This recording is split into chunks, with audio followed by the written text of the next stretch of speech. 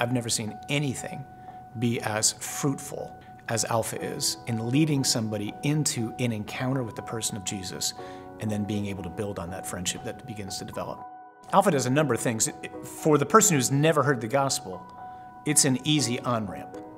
It's also a way to reawaken somebody who thinks they knew the gospel but really don't. It's the person who who knows about Jesus but doesn't know Jesus. That's what we've seen here. That's, that's what we originally saw. We saw it was, it was done originally for people in the pews who were here, but who would tell you they didn't have a friendship with him. So it's a tool for the unevangelized. It's a reawakening for the, for the people who've been sacramentalized but not evangelized. Um, and then it's a community building um, experience. And that's actually, that's something that I wasn't expecting. I did it mainly because I wanted people, I wanted the vertical relationship to happen.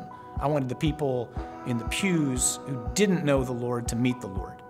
What I didn't anticipate was this relationship that began to take place. People sitting at tables, you know, kind of initially like this, thinking, what in the heck? I'm not going to talk to you about my life. This is stupid. What a waste of time.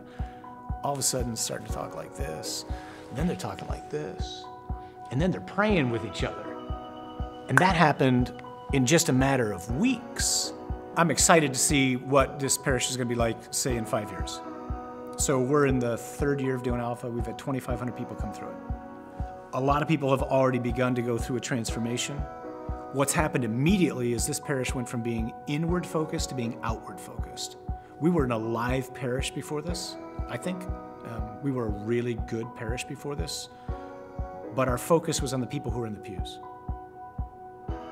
Now our focus is both on the people who are in the pews and the people who live in the community who don't know Jesus, because now there's a tool that we have in our hands to be able to say, hey, you should come to this.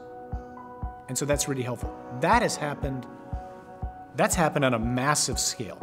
Scripture tells us, uh, my people perish. Why? For lack of knowledge. What's eternal life? Eternal life is this, that they would know you, Father, and the one whom you have sent. Not know about you in their heads, not have all this data that they've learned in a class or a catechism. Know you, intimately know you.